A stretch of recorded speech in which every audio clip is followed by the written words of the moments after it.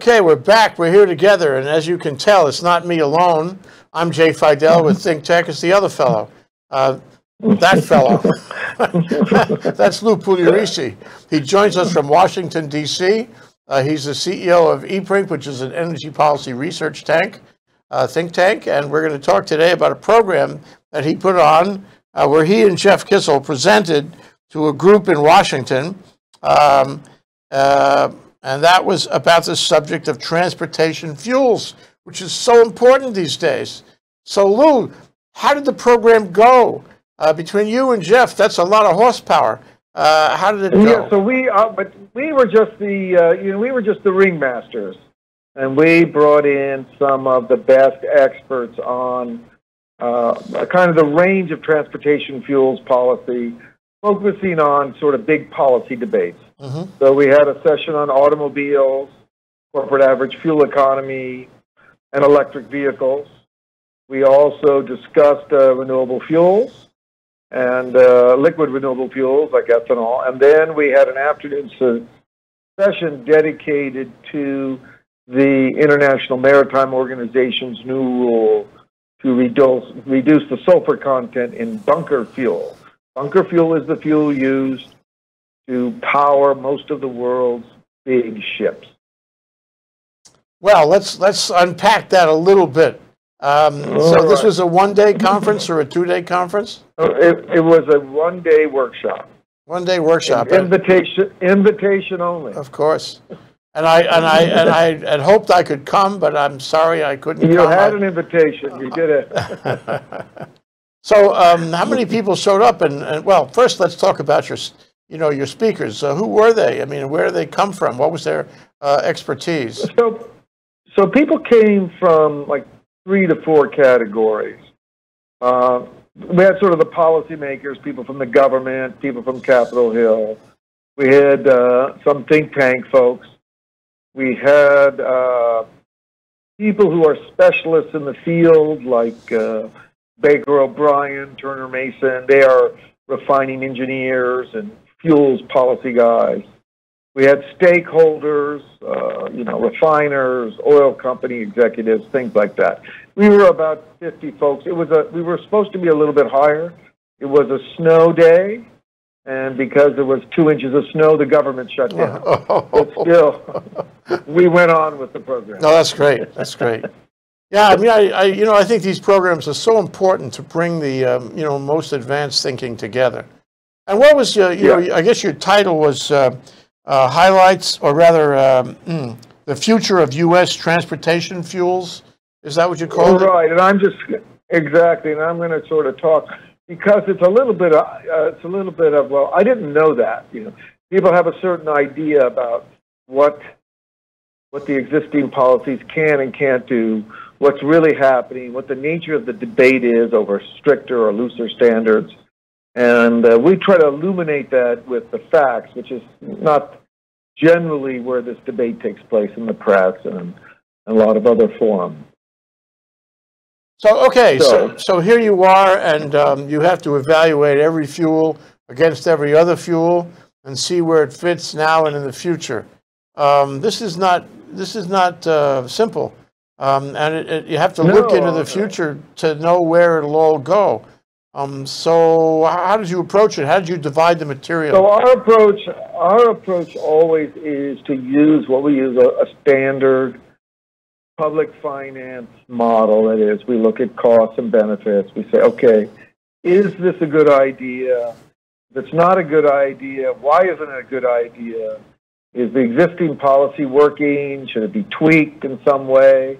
We sort of we try to live in the real world many people in the fuels world, like the renewable world, they live in they live in Disneyland, but we can't live in Disneyland because we have to use numbers. Okay? well, absolutely. I mean, you know, the thing is that you, you, you know, to me, it's very interesting this kind of conference because you have government that could do this, but actually doesn't very often, and then you have think tanks like yours where you bring everyone in and you create a you know, a, collective, a collaborative discussion, and that becomes the way to policy. Uh, I mean, I think that's the exactly. way things work in Washington. Yeah. They do, but sometimes it takes a long time. You know, you you might come up with something which makes a lot of sense, but that doesn't mean that's what the government wants to do. Particularly if they've been doing something else for a long time. Right. It's hard and, to change. And they have politics rather than economics to guide them. Absolutely, they have politics, right? And So- some of our presenters even have an axe to grind. You know, we have course, to keep an eye on them. of course, you have to watch out for that. So um, you have you have slides and you have a, a, a progression of uh, speakers and uh, and suggestions on on this reality. Uh, why don't you go through them? Yeah, let's start. So let's start. So let's start with the first slide. This just shows you our setup. This is a very typical. We do this in the uh, for liquefied natural gas and a lot of things. We try to get about fifty to sixty people around a big table, maybe some tables along the side. We keep the presentation short and we keep the discussions long. So we want basically we don't need to really lecture to the people. Most of the people in the room have a lot of knowledge, right? So they just need the kind of fundamentals to get the discussion started. And uh, we have posted all the full press. You're just seeing a few, one percent of some of the discussion in the slide, but all the all the presentations have been posted on our website for your audience. So And- let's go to the next slide. And your website is uh, eprinc.org. Yes, so anyone goes there, they can click through and get all the presentations. Okay. Okay. So this first picture is called United States, Mexico, Canada, crude oil and petroleum product trade balance. Okay. So what this tries to show is how, you know, what has happened to North America. And actually, I'll tell you a little bit about the U.S. Say between 2006 and 2008 to the present. And actually, if you think about the U.S., we both import and export uh, crude oil, we import and export products, petroleum products. So what you really want to know in terms of dependence, which may or may not be a good measure of vulnerability, is how, what are your net imports? You know, how much of the world crude oil production are you taking into the country and Mhm. consuming? Mhm. And if you go back to 2006, 2008, uh, net imports were pretty close for North America, 8 million barrels a day. For the U.S., they were over 13. By November of this year, right, for uh, North America, they are, you know, between 1 and 2 million barrels a day. Actually, for the U.S., it's only a half a million barrels a day. So between 2006 and 2008 to the present, the United States went to a net importer of 13 million barrels a day to a half a million barrels a day. So North America has revolutionized the world oil market. And it is the reason why oil prices are closer to $50 a barrel than 100. So Mm. that's just one piece of background information. Yeah, that's very remember, important. of, right, and remember, lots of policies were based on U.S. dependence on expenses and insecure imports. That world has gone away. Well, let me let me ask you what one thing that what does this suggest for the future? Because clearly the trend in that chart is that we are uh, importing less and exporting more. Um, and wh- where are we going to go on this? What do you expect in five or ten years? So the Energy Information Agency says between the next next 10 to 15 years, the U.S. could expand its oil production 5 to 10 million barrels a day. So we will be a major exporter to the world oil market. And we, will, not be. therefore import nothing. We will not be importing then, right? Of course, we will import, but we will export more than we import because these products and crudes come on different characteristics and different types, and uh, you're always solving a logis- We are a large continental landmass, so you're always solving for transportation efficiencies. But Mhm. when you do the balances, we'll be we will not be a net buyer of crude oil from the Middle East. Okay, And as we you, will be and as net you, contributor. and as you said, we will we will not be concerned about dependency anymore. We will not be concerned about dependency. We're not concerned now, actually. So we're so close. hmm So if you go to the next, so that's the production side. But what I think a lot of people don't understand is what, how much more. If you think about petroleum or crude oil, most of it's used in the transportation sector.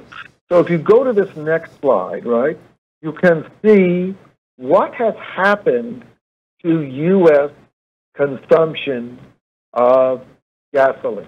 This is transportation fuel. This includes diesel as well. But what I wanted you to just take away from this slide is if you go back to 2005, 2007, the projection was that blue line, right? That's where we thought we were going.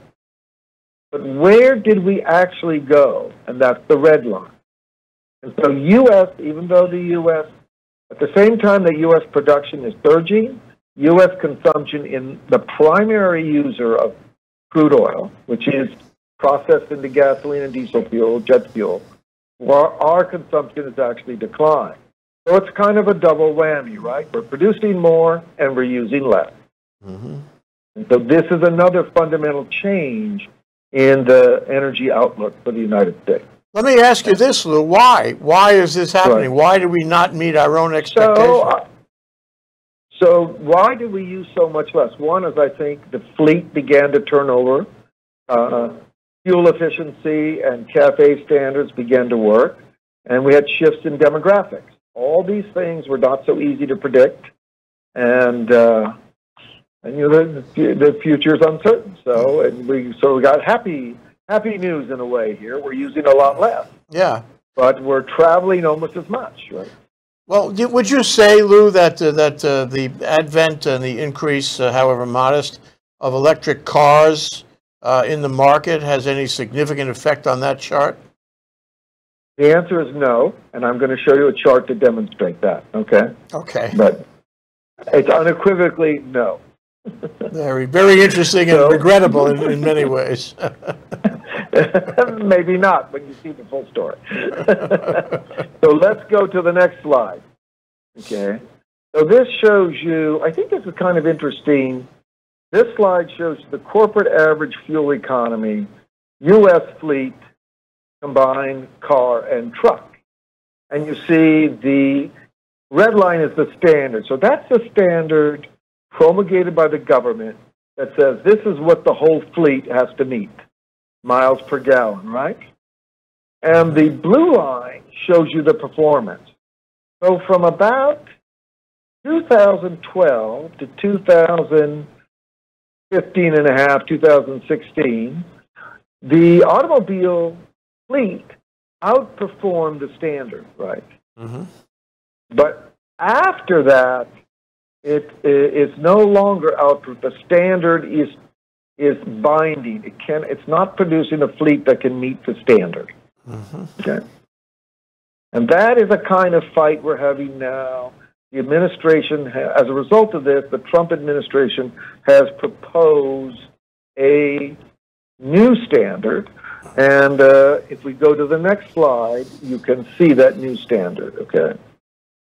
And uh, the next slide shows you, I'll wait for that to come up, okay? This shows you the corporate average fuel economy, 2018 to 2026 model year. U.S. fleet combined car and truck. Mm-hmm. And you see the red line that goes get that around 2020 mm-hmm. is very steep and goes up to 46 miles per gallon. Mm-hmm. Right? Yeah. And then you see the flat red line that says NHTSA EPA proposed standard. So right now, there is a proposal by the Trump administration to hold the fuel economy standard at 37 and not move it to 46. Okay.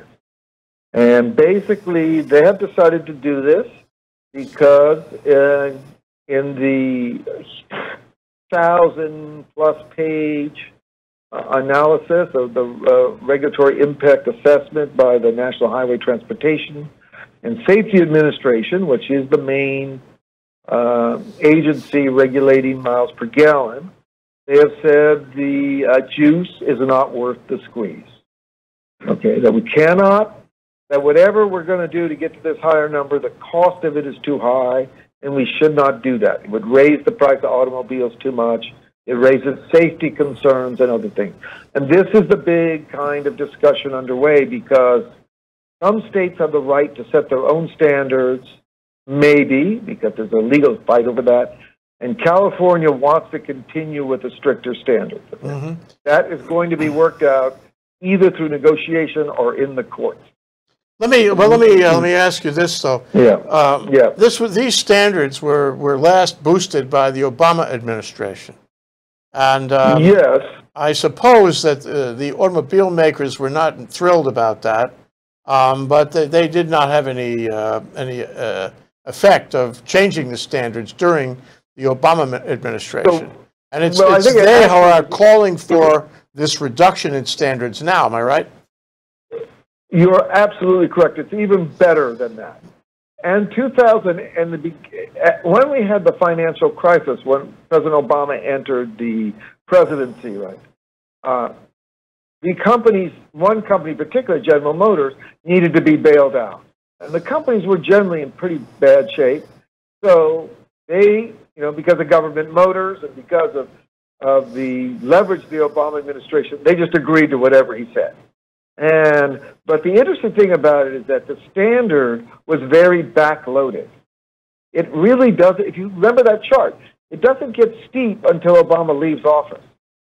Yeah. right. So, uh, and and you know, and, and part of the problem is, well, maybe they could have met it with more electric cars or hybrids, but these were too expensive, and the consumers are not going for it. Okay, Well, let's, uh, let's, there's more here in, in terms of, uh, you there's know, more here because Be- Because the electric car, you know, is, is upon us now.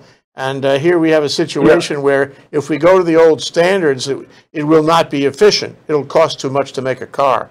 Um, but we, we're going to take a short break, Lou. Uh, and we'll be back in one minute. You'll see. okay. Hey, aloha. My name is Andrew Lanning. I'm the host of Security Matters Hawaii, airing every Wednesday here on Think Tech Hawaii, live from the studios. I'll bring you guests, I'll bring you information about the things in security that matter to keeping you safe, your coworkers safe, your family safe, to keep our community safe.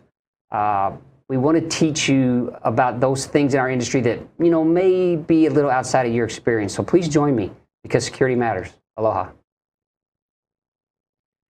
Aloha, this is Winston Welch. I am your host of Out and About, where every other week, Mondays at 3, we explore a variety of topics in our city, state, nation, and world, and uh, events, organizations, the people that fuel them.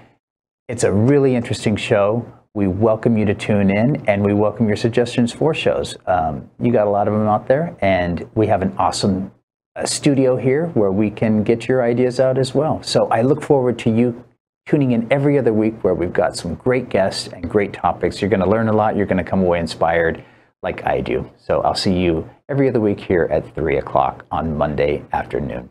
Aloha. Okay, we're back with Lou Pugliaresi. He's oh, in Washington, D.C. He's the CEO of EPRINC. And by the way, you want to see the presentations in this conference? That was, what, a week or two ago, entitled The Future of U.S. Uh, Transportation Fuels. You can find them all on eprinc.org. Okay, so let's go back to where we were.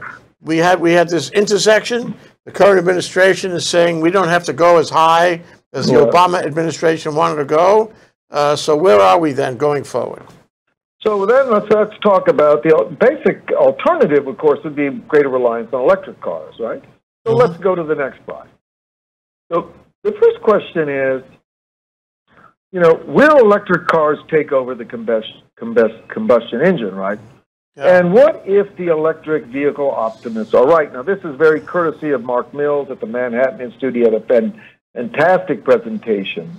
And you can see from this chart here the number uh, of cars uh, per thousand people uh, in the U.S. And you can see here that if you go back to like 1900, right, and compare the growth of automobiles, EVs, right, Mhm. with uh, cars, it- when cars first came, and they, you know, they're growing, actually, actually growing faster than when cars were first introduced.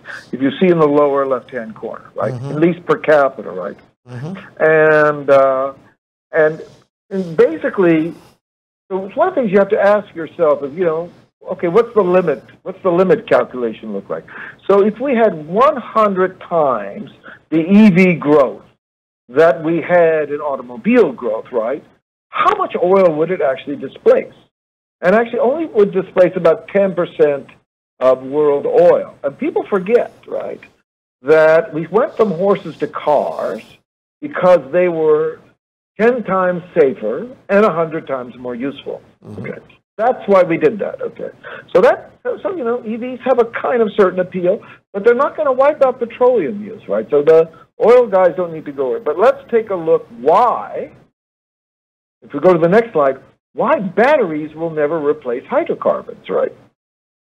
This is the And big is really question. This is the one that catches Right. your eye. This is really important. All you people out there, take batteries- notes on this one. Yeah.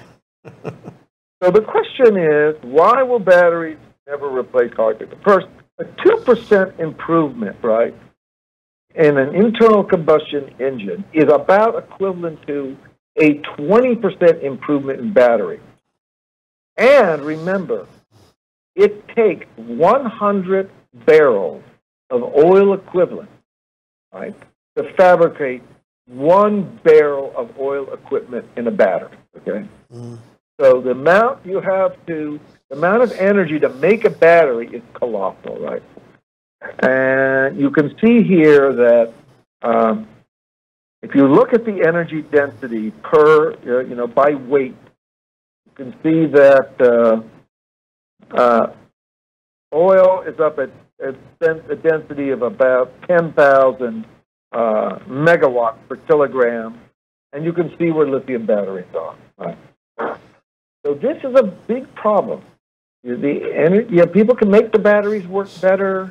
They might maybe even double their stuff, but they're they're they're just very expensive, energy intensive, to, energy intensive to make. Well, given that analysis, and, and imagine uh, an advocate for electric cars or hydrogen Right. cars, and if you if you if you don't mind, Lou, make yourself that advocate. Somebody who's advocating for electric and hydrogen cars. Well, I don't. I did have an electric. Unfortunately, we don't have enough time, but I did have the presentation from a group called SAFE, and it's on the website. I recommend you look at it. I don't think they were very well thought out because, uh, you know, Mar- Mark's pretty hard-headed. But if we go to the next slide, Mhm. I think there's another issue that no one wants to talk about, right? And this is called magic battery. So basically, if you believe in these stories about uh, batteries beating hydrocarbons, you have to believe in magic because you can't get there from physics. But I thought the interesting thing is what you know how much uh, how much material do you have to mine, right, Uh-huh. to store one pound, the equivalent of one pound of hydrocarbon, right? You actually to do that and making a gigafactory, a Tesla gigafactory, or something, you have to mine 1,000 pounds of material, right, to get the equivalent of one pound of a hydrocarbon. So that's a huge, also a huge environmental load on uh, communities, on you know the, the environmental consequences in dealing with uh, all these materials when you mine this, all, all uh, you know the cobalt, nickel. So I, I think people don't really spend a lot of time thinking about this. They just look at the pretty test and say, "Oh, it must be good for the environment." Well, everything comes with an environmental cost. Sure, but let me And, let me uh, offer you this. Um, Yeah. so when Yeah. I when I am mining material for a battery, I'm mining it Mhm. once. I'm once. Um, then when I charge the battery? I can charge it thousands of times. Is that built into that don't know if chart you also? charge. You have to. Well, I, I don't think it, it has a. I think that just shows what it takes to make the battery. Now, it's true that um, you might get a certain life cycle of the battery, but batteries don't last forever. They wear out. Oh, You're going to have to replace them. True. Okay. In fact, so let's go to the next chart because this one may help you understand why why electric car sales are not taking over the world. Okay. So the answer, so the state of electric cars is not so. If you look at the new car sales, right, in 2017 for the United States, the EVs represented 1.18 percent, right? Mhm. They were just about 1% of the total vehicle market. Yeah. And this is with the massive subsidies. That's 7,500 by the $7,500 by the federal government, sometimes that much or more by different state governments. Uh, we have one interesting experiment. Uh, the state of Georgia eliminated its subsidies for electric vehicles, and uh, EV sales in Georgia virtually went to zero. Okay. Interesting. Yeah. Okay. So let's go to one more. Now, so the question, one question is, we go to the next slide. We've got a picture there of the, uh, let's see, eponymous and uh, ubiquitous uh, Tesla, uh, Elon Musk, right? And so the question is, this was from the Institute of Energy Research. It was a great presentation. The, the, the primary driver of electric vehicles so far has been uh, subsidies. And from 2011 to 2017, tax expenditures for the EV tax credit, just for the federal government, was about $2.2 billion. And the stimulus package provided over 5 billion in, you know, infrastructure support. So the electric vehicles have had a lot of support. And, and under the law, when any individual manufacturer reaches 200,000 units, his federal subsidy begins to decline. So now the people, a lot of folks in Congress say, well, you should make it bigger, right? But there is some resistance for that. Mm. Yeah. Mm. Okay. And then, you know, the, I, I just wanted to get to one more. Uh, and then the final slide here is when we looked at uh, marine fuel, right? And I think this is very in- interesting if you get to the final slide. IMO 2020, the International Maritime Organization, uh, is, you know, passing a regulation. We've talked about this in the past. They're going to reduce uh, the sulfur content in marine fuel from 3.5% to 0.5% sulfur content. And in fact, this is probably a good idea. It might be a little expensive, but getting sulfur out of the atmosphere is the main, uh, uh, you know, uh, generator of something called PM2.5, particulate matter, which is not good for visibility, not good for human, uh, con- you know, breathing. And you can see already some places, the, you see the red areas. Those areas are already have very strict controls, like 1%.